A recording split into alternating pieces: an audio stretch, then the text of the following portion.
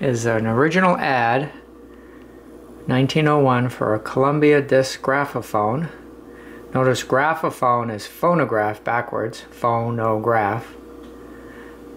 Phone means sound, O, graph, or to write, to write sound. And there is a Columbia AJ. Don't know how close I can get. And that's an original ad. And here is an original Columbia AJ. These were top wind machines competing with Victor in their top wind machines. So let me see if I can just play a little of this very old Columbia record here. That is a very old Columbia record. This right here is not a paper label, that is silk screened onto this shellac record. That's all silk screened. This won't sound very good. There's the on-off mechanism.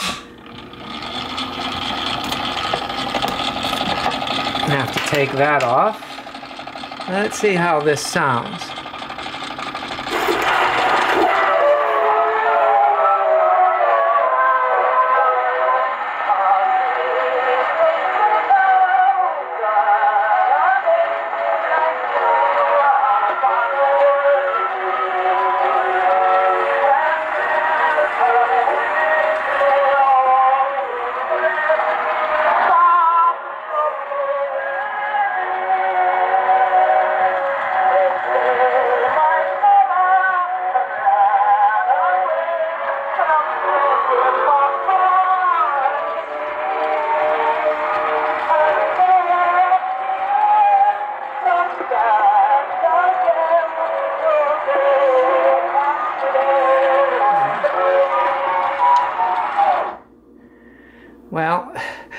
As you can see, these old records are pretty rough.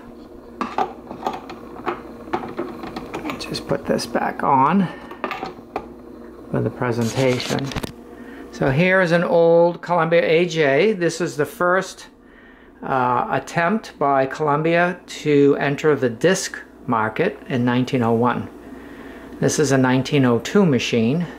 They also had a couple of other machines in 01 that uh, entered the disc market, the AH and the AK.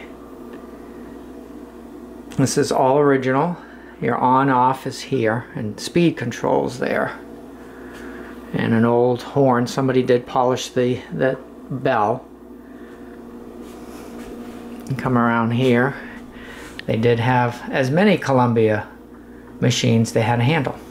Now there were three versions of the top wind machine. The first version, believe it or not, very few were made, but this piece here, this is the, as I just said, the start stop and the speed control actually was up on the top.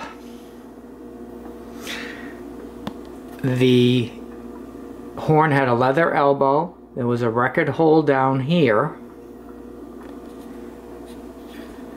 And the reproducer, which is over here, actually had a, a knob to screw and unscrew the needle. To get a new needle in, you had to unscrew the old needle out, put the new needle in, and then tighten it with a, a thumb screw. That didn't last very long because Victor Talking Machine Company had the patent on that, and they uh, were afraid of lawsuits. So the first version, which they weren't that many, had that. And then the next version took the speed control, which was up here, and put it on the side, as it is here. They continued the leather elbow, which you don't see here, that's brass, the record hold down, which you don't see here. They continued that. And the final version, which was late 1902, they eliminated the record hold down. They eliminated the leather elbow and went with brass.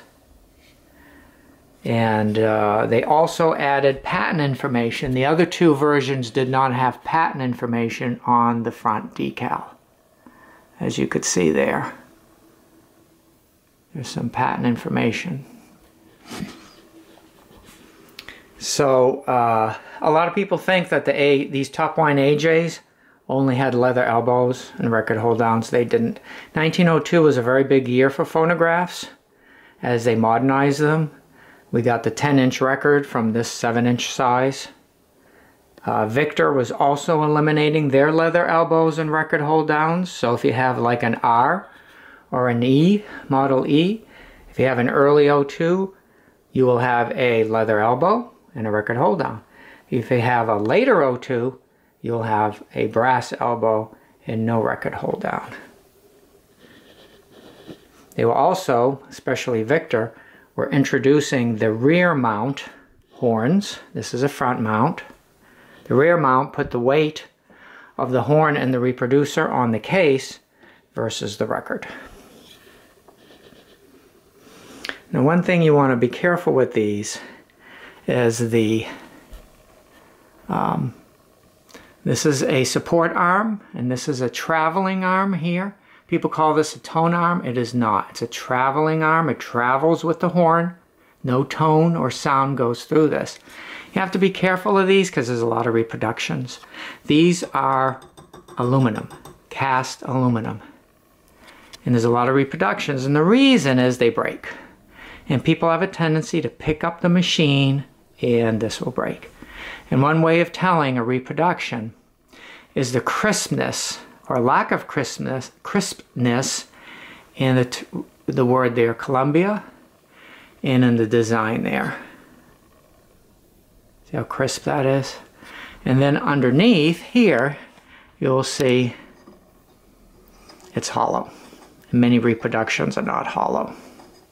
So never pick up an old phonograph other than, in any way except underneath.